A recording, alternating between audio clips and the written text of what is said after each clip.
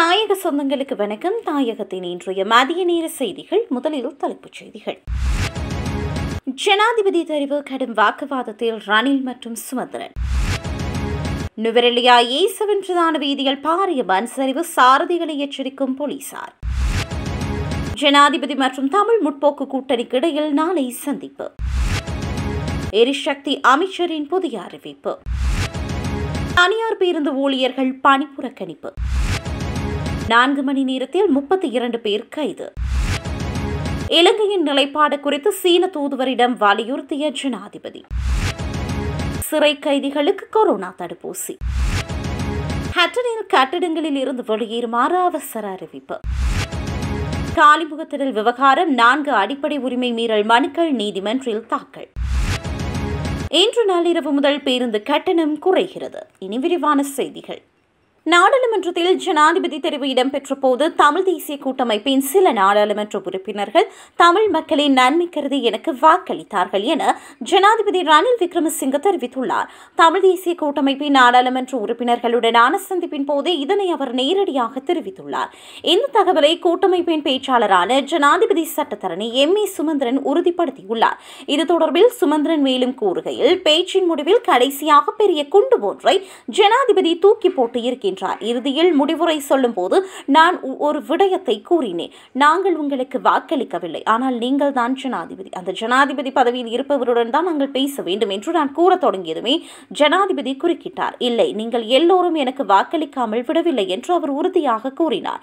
அப்போது நான் இல்லை. நாங்கள் தீர்மானித்து தீர்மானம் எடுத்து அதன்படி பத்து பேரும் வாக்களித்தோம் என்று அப்போதும் அவர் மீளவும் குறுக்கிட்டு இல்லை இல்லை உங்களில் சில பேர் தமிழ் மக்களின் நன்மை கருதி எனக்கு வாக்களித்துள்ளீர்கள் என்று கூறினார். இதனையே ஹரின் பெர்னாண்டோவும் கூறியிருக்கிறார். அப்போது சித்தார்த்தன் குறுக்கிட்டு அது எப்படி உங்களுக்கு தெரியும்? நாங்கள் அளித்தது ரகசிய வாக்கெடுப்பு அல்லவா? என்று கேட்டார். அது எனக்கு தெரியும். யார் யார் வாக்களித்தனர் என்ற விவரம் என்னிடம் உள்ளது. கூட்டமைப்பில் மாத்திரமல்ல ஐக்கிய மக்கள் சக்தியில் இருந்தும் எனக்கு எத்தனை பேர் வாக்களித்தார்கள் என்ற பட்டியல் என்னிடமும் உள்ளது என்றார் அவர். நுவரெலியா இயேசுவின் பிரதான வீதியில் இன்று காலை நானோய போலீஸ் பிரிவிற்குட்பட்ட நானோயா நகரத்திற்கு அண்மித்த பகுதியில் பாரிய மண் சரிவு ஒன்று ஏற்பட்டதால் நுவரெலியா தலவாக்கலை நுவரெலியா ஹட்டன் நுவரெலியா தாயகமு போன்ற பிரதேசங்களுக்கு செல்லும் போக்குவரத்து முற்றாக தடைப்பட்டிருந்தது. இதனால் சுமார் இரண்டு மணித்தியாலயங்கள் அவ்வீதியினூடான போக்குவரத்து முற்றாக ஸ்தாம்பிதமாகியிருந்தன இதனை அடுத்து நுவரெலியா வீதி அதிகார சபை ஊழியர்கள் நுவரெலியா ராணுவத்தினர் ரானோயா போலீசார் ஆகியோர் இணைந்து மண்மீட்டை அப்புறப்படுத்தினர். இதனால் அப்பகுதியில் ஒரு வழி போக்குவரத்து சேவை முன்னெடுக்கப்பட்டது அத்தோடு இவ்வீதிகளில் பல இடங்களில் ஆங்காங்கே மண்மேடுகள் சரிந்து விழுந்தமை குறிப்பிடத்தக்கது. இந்த வீதிகளின் ஊடாக வாகனங்களை செலுத்தும் சாரதிகள் மிகவும் அவதானத்துடன் செயற்படுமாறு போலீசார் அறிவுறுத்தியுள்ளனர். மேலும் சரிந்து விழுந்துள்ள மண்மேடுகளை உடனடியாக அப்புறப்படுத்துவதற்கும் அதிகாரிகள் நடவடிக்கை எடுக்க வேண்டும் என பொதுமக்கள் மற்றும் சாரதிகள் வேண்டுகோள் விடுத்துள்ளனர். தமிழ் முற்போக்கு கூட்டணியின் தூதுக்குழு ஜனாதிபதி ரணில் விக்ரமசிங்கவை ஆகஸ்ட் பதினோராம் தேதி நேரடியாக சந்தித்து கலந்துரையாட உள்ளது என தமிழ் முற்போக்கு கூட்டணியின் தலைவர் மனோ கணேசன் தெரிவித்துள்ளார். இது தொடர்பில் அவர் மேலும் தெரிவிக்கையில் பொருளாதார மற்றும் சமூக ஸ்திரத்தன்மையை ஏற்படுத்துவதற்கான தேசிய சர்வகட்சி வேலை திட்டம் ஒன்றினை செயல்படுத்துதல் தொடர்பில் ஜனாதிபதி தமிழ் முற்போக்கு கூட்டணிக்கு விடுத்துள்ள அழைப்பின் பேரிலேயே இந்த சந்திப்பு இடம்பெறவுள்ளது. இந்த கலந்துரையாடலில் மலையக தமிழ் இலங்கையர்களின் அபிலாஷைகள் தொடர்பிலும் தென்னிலங்கையில் வாழும் தமிழ் மக்களின் பிரச்சினைகள் தொடர்பிலும் பொதுவாகவும் கலந்துரையாடப்பட உள்ளது. அதுவேளை நாளை ஆகஸ்ட் ஐந்தாம் தேதி ஐக்கிய மக்கள் கூட்டணியின் தூதுக்குழுவிலும் பொதுவான தேசிய பிரச்சினைகள் தொடர்பிலும் கலந்துரையாடுவோம் என்றும் தெரிவித்துள்ளார். இலங்கை பெட்ரோலிய கூட்டுத்தாபனம் ஒரு வருட காலத்திற்குள் விமான எரிபொருளை கொள்வனவு செய்வதற்கு விநியோகஸ்தர்களுடன் ஒப்பந்தங்களை மேற்கொண்டுள்ளதாக எரிசக்தி அமைச்சர் தெரிவித்துள்ளார். இலங்கை கடற்பரப்பில் பணம் செலுத்த முடியாமல் பல நாட்களாக நங்கூரமிட்டிருந்து நாற்பதாயிரம் மெட்ரிக் டன் டீசல் கப்பலுக்கு நேற்று பணம் வழங்கப்பட்டது. கப்பலில் இருந்து டீசல் இறக்கும் பணிகள் நேற்று முதல் ஆரம்பிக்கப்பட்டுள்ளதாக அமைச்சர் கூறினார்.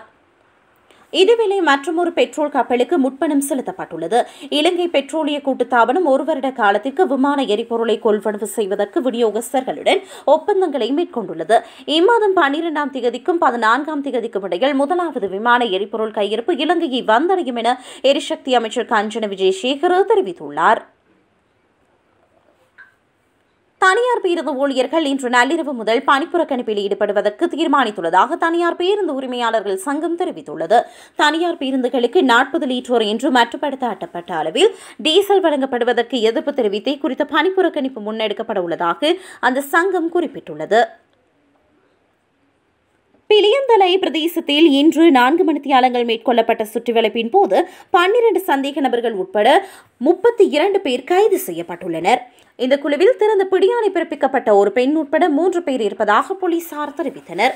ஏனைய சந்தேக நபர்களில் ஹெரோயின் ஐஸ் போதைப் பொருள் மற்றும் கஞ்சாவுடன் பதினேழு பேர் உள்ளதாகவும் சந்தேகத்தின் பேரில் பன்னிரண்டு பேர் விசாரணைக்கு உட்படுத்தப்பட்டுள்ளதாகவும் போலீசார் தெரிவித்தனர். இன்று அதிகாலை ஒரு மணி முதல் அதிகாலை ஐந்து மணி வரையான நான்கு மணித்தியாலங்கள் இந்த நடவடிக்கை மேற்கொள்ளப்பட்டதாகவும் பிளியந்தலை போலீஸ் நிலைய பொறுப்பதிகாரி பிரதான போலீஸ் பரிசோதகர் சனத் ரஞ்சித் தலைமையிலான குழு உட்பட ஐந்து குழுக்கள் பங்கேற்றுள்ளதாகவும் தெரிவிக்கப்படுகிறது. ஒரே சீனா என்ற கொள்கை குறித்த இலங்கையின் உறுதியான நிலைப்பாடு மற்றும் உலக நாடுகளுக்கான ஐக்கிய நாடுகள் இறைமை கொள்கைகள் குறித்த இலங்கையின் நிலைப்பாட்டையும் சீன தூதுவரிடம் மீள வலியுறுத்தியதாக ஜனாதிபதி தெரிவித்துள்ளார். சீன தூதுவருடனான சந்திப்பின் போதே ஜனாதிபதி இதனை தெரிவித்ததாக ஜனாதிபதி ஊடகப் பிரிவு தெரிவித்துள்ளது.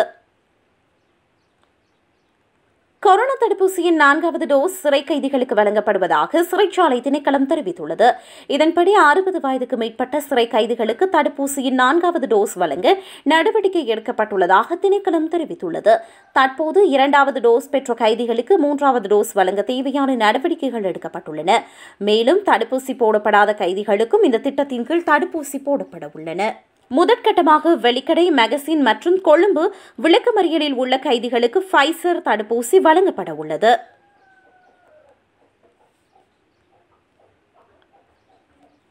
ஹட்டன் நகரின் டிக்கோயா வீதியில் அமைந்துள்ள எம்ஆர் நகர பகுதியில் இடிந்து விழும் கட்டிடங்கள் மற்றும் அதனை சூழ உள்ள பகுதிகளை நுவரெலியா மாவட்ட கட்டிட ஆய்வு நிறுவன புவியியலாளர்கள் ஆய்வு செய்தனர்.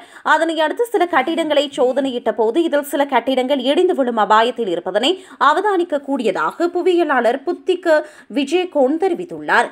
குறித்த பகுதியில் அமைந்துள்ள மிகவும் ஆபத்தான கட்டிடத்தில் வெடிப்புகள் காணப்பட்டதாகவும் இதனால் அங்கிருந்தவர்களை வெளியேறுமாறு தெரிவித்ததாகவும் அவர் தெரிவித்தார். தற்போதைய நிலவரப்படி கட்டிடம் உடனடியாக இடிந்து விழுவதற்கான சாத்தியங்கள் இல்லை என உறுதி செய்யப்பட்டதாகவும் கட்டிடம் கட்டுவதற்கு பெறப்பட்ட அனுமதி மற்றும் திட்டம் மற்றும் முறை கோப்புகளை சரிபார்த்து இறுதி முடிவு எடுக்க நடவடிக்கை எடுக்கப்படும் எனவும் அவர் மேலும் தெரிவித்தார். மேலும் வாகனங்கள் செல்ல முடியாமல் இருந்த அந்த பகுதியில் உள்ள காமினிபுர நுழைவு வீதியை திறப்பதன் மூலம் இலகரக வாகனங்களுக்கு மட்டும் செல்ல அனுமதிக்கப்பட்டுள்ளமை குறிப்பிடத்தக்கது. காலிமுகத்திடலிலிருந்து போராட்ட குழுக்களை வெளியேறுமாறு போலீஸ் விடுத்த அறிவுறுத்தலுக்கு எதிராக மேன்முறையீட்டு நீதிமன்றில் நான்கு அடிப்படை உரிமை மனுக்கள் தாக்கல் செய்யப்பட்டுள்ளன.